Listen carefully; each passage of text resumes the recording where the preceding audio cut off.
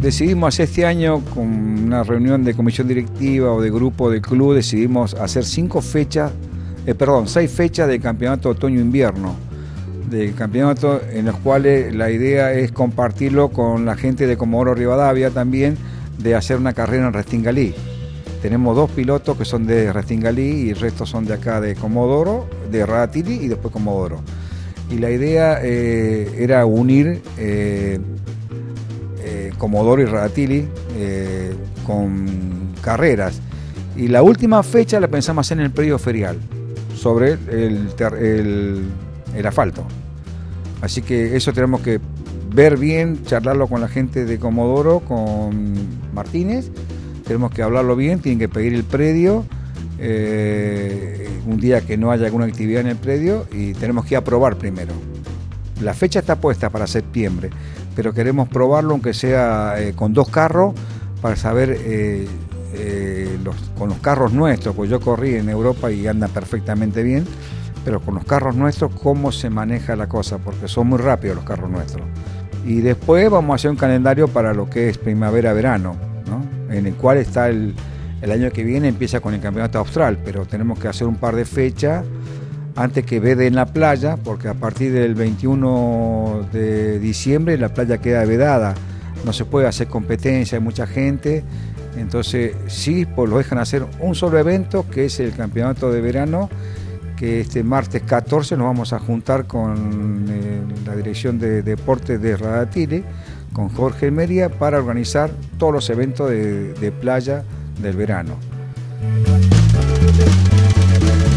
Nosotros tenemos este domingo la fecha de la quinta fecha del, del- campeonato otoño-invierno, en el cual está citado el personal o los pilotos para. Tenemos un problema de marea, porque la otra semana que, habíamos puesto la fecha, yo que hice la fecha me olvidé que era el Día del Niño. Entonces. eh, cuando tiré la fecha para los chicos, para hacerlo acordar, me dice, che, es el Día del Niño. Uh, entonces ahí me acordé y digo, bueno, entonces lo anticipamos una semana antes, porque era el Día del Niño, feriado largo, eh, tenía varios condimentos que, bueno, algunos se van y se son menos pilotos.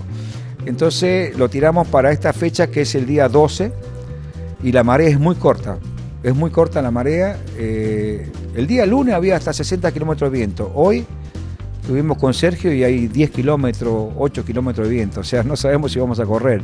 Eh, esto es una cosa que no lo podemos manejar, es una cosa que no se maneja. La marea un poco y el viento no se puede manejar. Así que la idea es largar a las 12 o a 11 y media de la mañana y correr hasta las 2 3 de la tarde que se lo acabó la playa.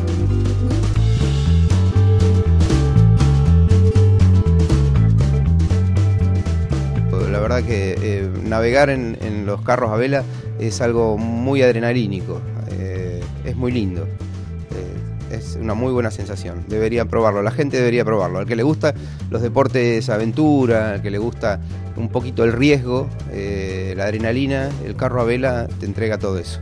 Sí, yo invito a la gente que venga a dar una vuelta, que total desde el auto casi casi llegan a ver eh, eh, la carrera. Nosotros vamos a correr de la bajada 25 a la 31, son cinco bajadas. Eh, se estacionan eh, o se bajan un cachito, tienen tiempo de subirse al auto, tomar un mate entre carrera y carrera. Y la idea es hacer eh, tres categorías, que es la categoría promo, que es la que, la que corrimos estos últimos años.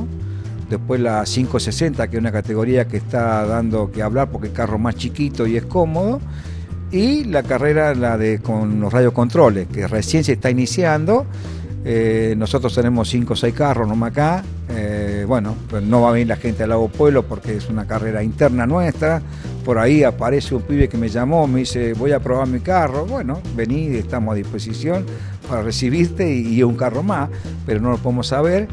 Así que, bueno, vamos a estar con los carritos también con la categoría Radio Control, que es una actividad que con el tiempo eh, el piloto de carro a vela que se golpea y si quiere seguir con la actividad tiene algo para hacer.